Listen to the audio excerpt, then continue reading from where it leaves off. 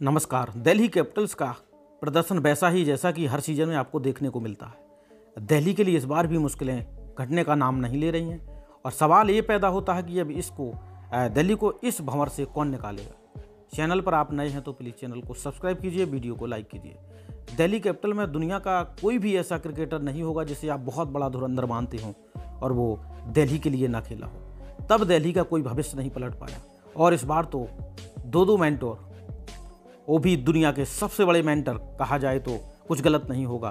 कप्तान भारत के पूर्व सबसे सफल सौरभ गांगुली और रिकी पॉन्टिंग। फिर भी दिल्ली कैपिटल्स का फ्यूचर जो है बिल्कुल भी वैसा ही दिख रहा है जैसा हमेशा रहा है। और इस 2023 के आईपीएल में इस बार पॉइंट टेबल पर फिर से बिल्कुल सबसे बॉटम में है।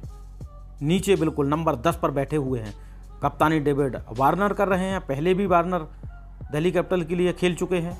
लेकिन इस बार बड़ी जिम्मेवारी उन्हें सौंपी गई थी, रन तो कर रहे हैं, लेकिन वो स्ट्राइक रेट नहीं है और किसी किसी भारतीय बैट्समैन को शायद उनका ये स्ट्राइक रेट समझ नहीं आ रहा। लेकिन मुझे लगता है कि कम से कम वो रन्स तो कर रहे हैं, लेकिन बाकी के दिल्ली के जो बैट्समैन हैं, वो कर क्या रहे हैं?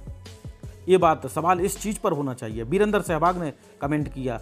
हरभजन सिंह ने डेविड वार्नर को आड़े हाथों लिया कि वो उनका स्ट्राइक रेट वो नहीं है जो होना चाहिए।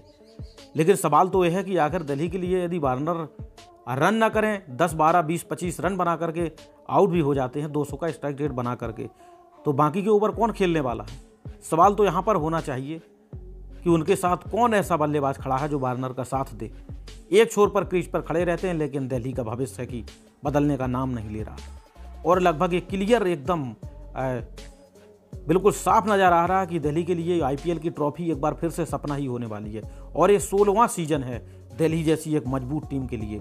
एक बड़ा प्रोफेशनल क्रिकेट खेला जाता है दिल्ली में और वहाँ से बड़े बड़े क्रिकेटर भारत के लिए भी दिए हैं।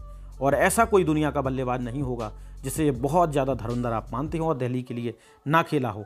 वो चाहे सहबाग हो, जयवर्धन, पीटरसन हो, डेविड वार्नर हो, वो तमाम क्रिकेटर हैं जो आरसीबी सॉरी दिल्ली कैपिटल्स के लिए सेवाएँ दे चुके हैं, लेकिन उनका और ट्रॉफी जीतने का जो सपना है वो सिर्फ़ सपना ही दिखाई दे रहा ऋषभ पंत का इस बार बहाना आप बना सकते हैं, लेकिन पंत को आप देख चुके हैं, ट्रॉफी सिर्फ़ है पंत अकेला नहीं दवा सक, दिला सकता।